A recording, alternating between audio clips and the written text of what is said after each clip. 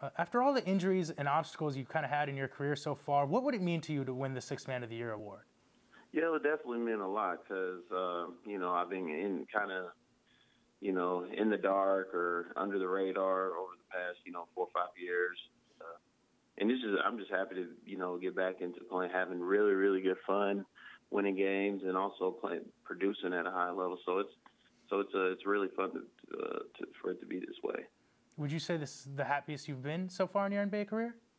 Yeah, no question. This is the happiest because you know I've never been on a team where we're winning like this, and you know everybody's having fun.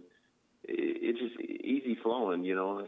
We're just an easy going team. You have a great coaching staff that cares about the players, and the players look forward to you know playing with each other every single night, and uh, looking forward to everybody playing well each night. So it's it's um, that's why that's the fun thing about it.